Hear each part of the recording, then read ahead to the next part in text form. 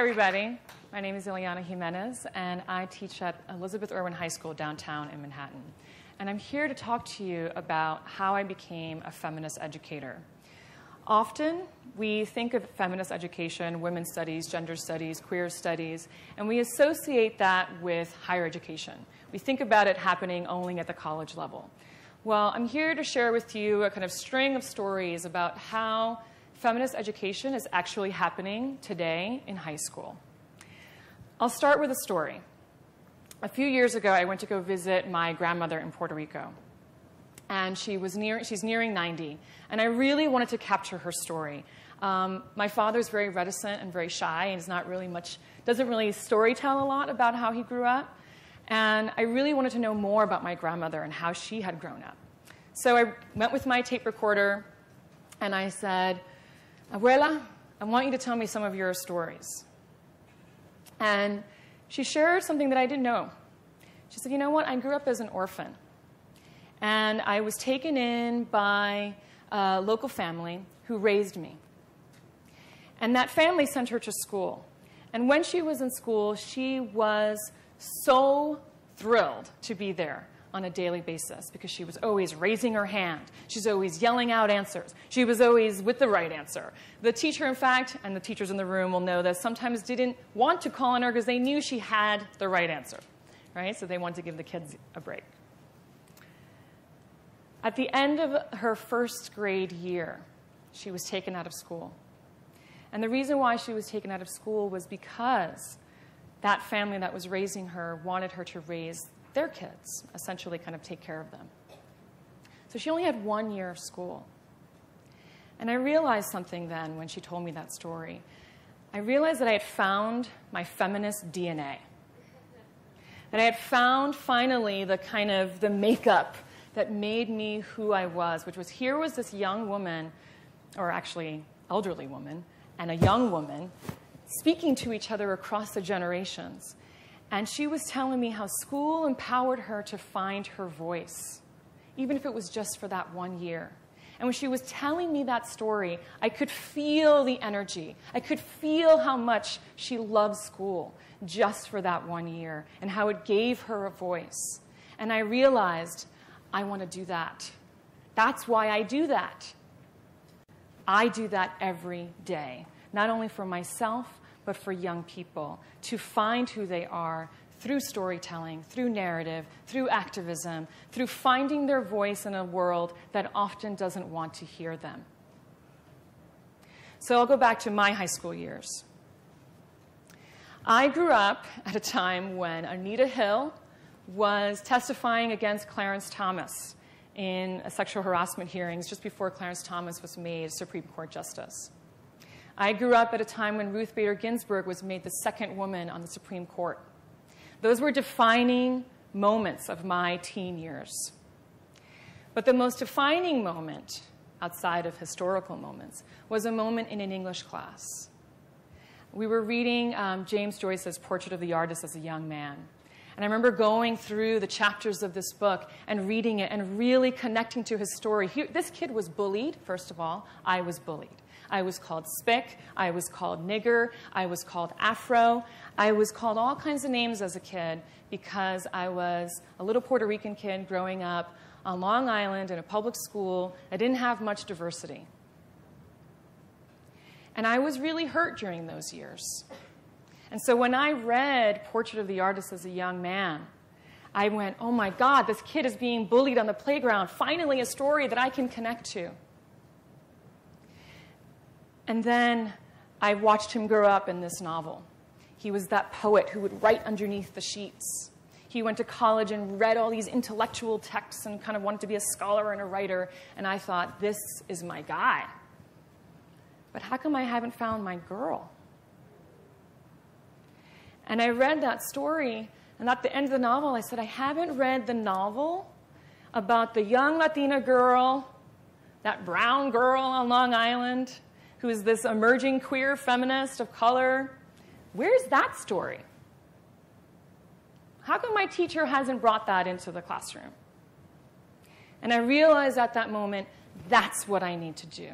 I need to become that educator who brings those books into the classroom so that young people can see themselves straight back at them when they're reading, when they're writing, when they're reflecting, when they're journaling, when they're finding that voice that they so desperately need. So, when I read Portrait of the Artist as a Young Man, I, wrote, I wound up writing this long analytical um, essay. It was an AP English class, and I went up to my teacher and I said, Mrs. Welcome, I really want to write um, a long research paper bringing together portrait with other women writers, kind of analyzing how they're different from each other. She said, fine, go. So I went to my local public, my local public library and I found a treasure trove. I found Simone de Beauvoir.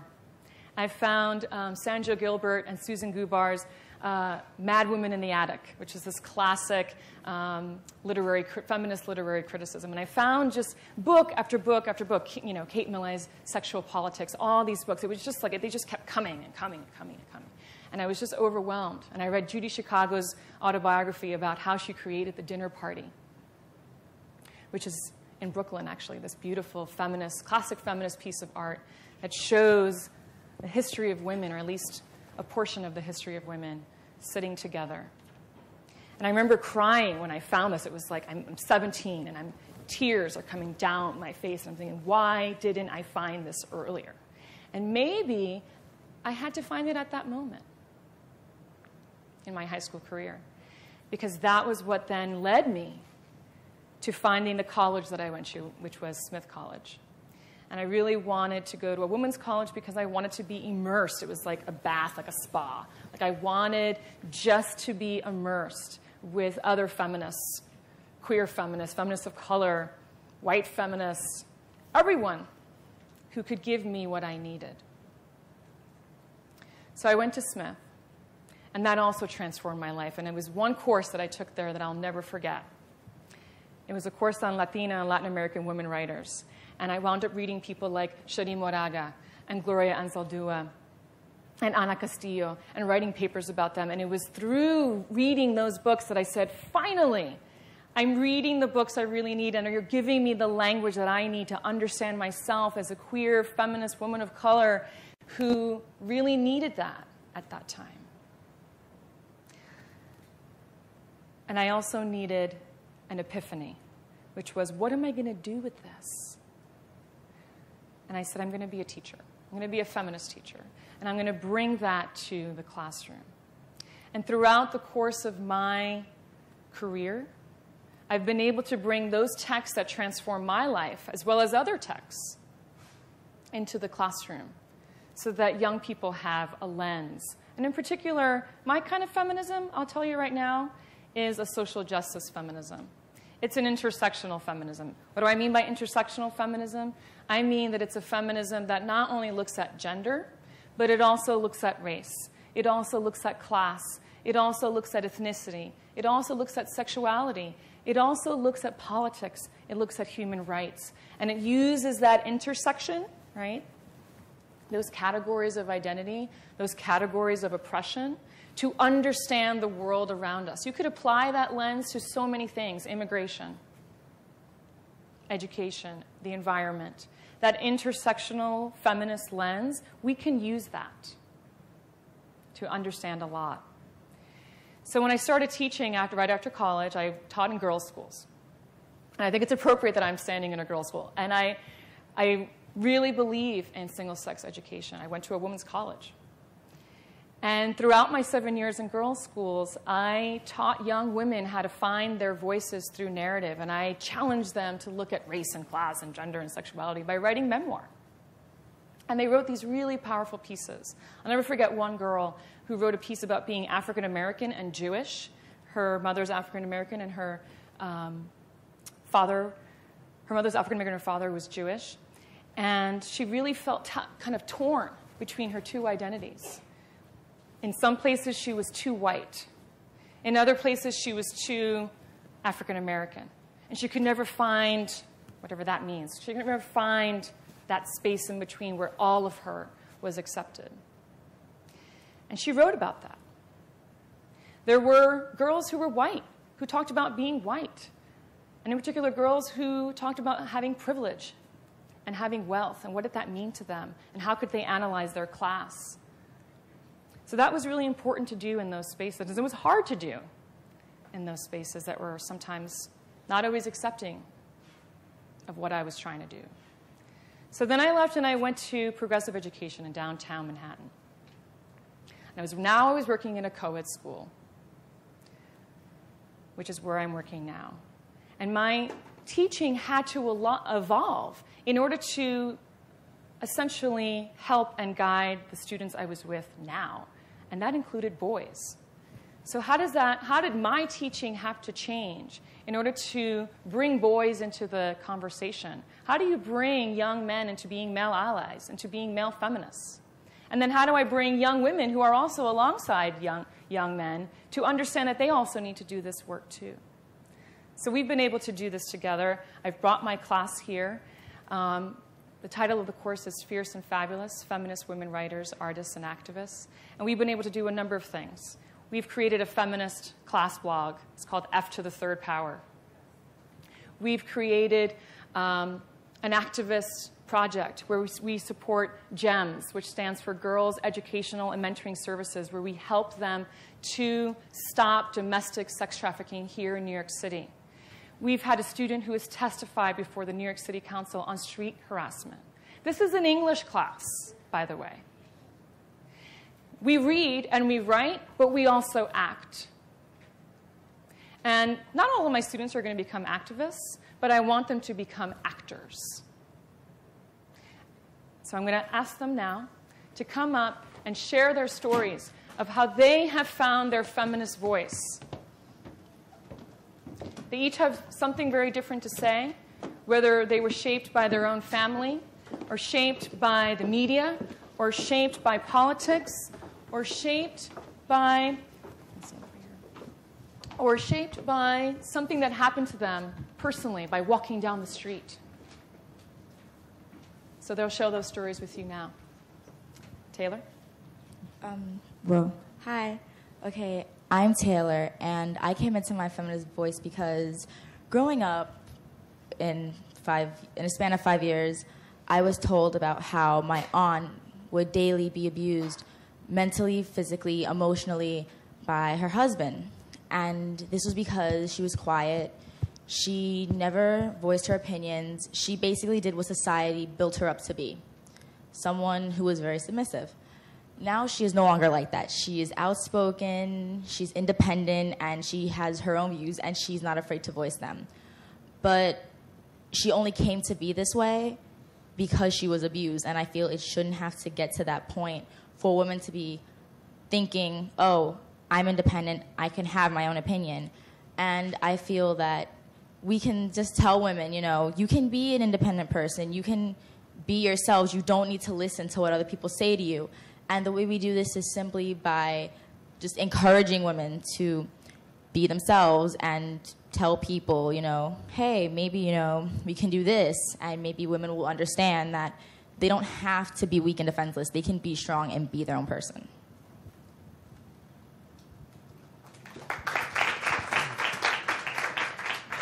Hi, uh, my name is Ian, and uh, growing up with a, predominantly a single mother, I was exposed to a lot of the hardships that women face uh, every day, not only in the workplace, but really anywhere.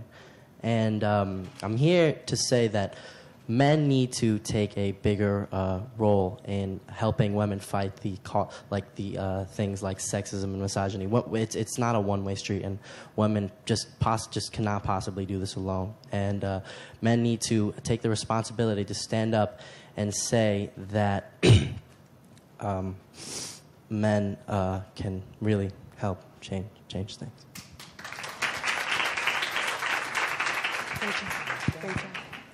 Um, hi, um, I'm Olivia, uh, and living in New York City all my life has forced me to face some of the worst cases of dehumanization, um, specifically in the sexualization of women in the media and street harassment.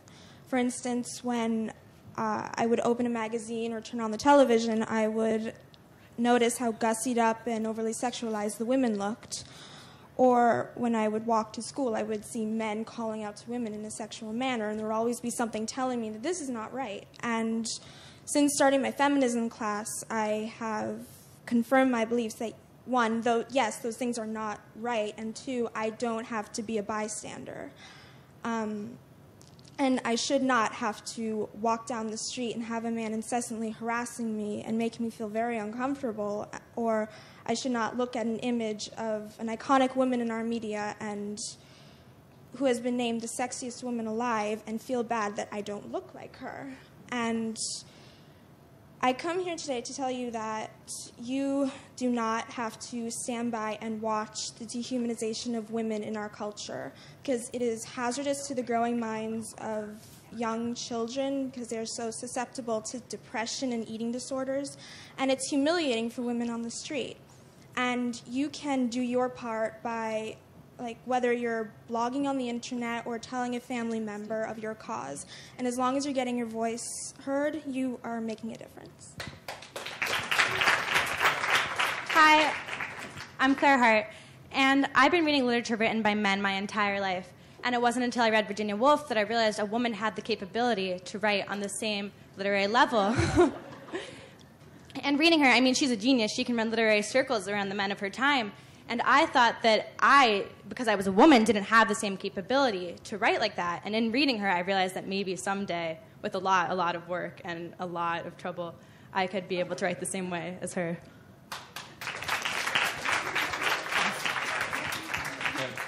Hello, my name is Steven, and as we know already, every day when we turn on our televisions, we see horrible things going on around the world and even in our own country. For example, women are denied an abortion, even though it's really no one else's business but the woman herself and her husband to make that decision. Or the fact that two people that love each other can't, you know, marry each other because a group of people decided that it's not natural, it's not okay for it to happen. And the media, you know, every day is like shooting messages at us, like back and forth, you know, through advertisement, pictures, magazines, all these like different mediums telling us that we need to feel a certain way about our body and that we need to compare ourselves to other people and to other like celebrities, for example. And we need to compare ourselves to the fake images of these women who are obviously photoshopped in all of these magazines and advertisements. And I feel I want to change that and make um, our definition of beauty more inclusive of everyone's like height, hair color, skin tone, and just like so many different things. And one of the ways that you can do that is just breaking free from that and just turning off the television and realizing that you are beautiful and that you know your body is unique to your to yourself. Um, hi, my name's Grace. Um, so growing up as a young girl in New York City, uh, I felt like the media sexualization of girls really did affect me as a young girl, but also did the um, street harassment that I faced every single day from a very young age. So, taking the feminism class at my high school, um, Emily May, who's head of the Hollaback organization, came to talk to our class about um, her activism against sexual harassment, and she invited me to talk at the New York City Council hearing against street harassment. Um, there, I was I was able to share my um, very traumatic and scary experiences with um, street harassment. And through this experience, I was able to understand that my story is one that can be shared and that it can make a change, and that like through sharing my story, I can help people understand how important it is to stop sexual harassment of girls. Thank you. Thank you for inviting us. If you think feminism is dead, just look at these six right up here. They're making a change today, tomorrow, and in the future. Thank you.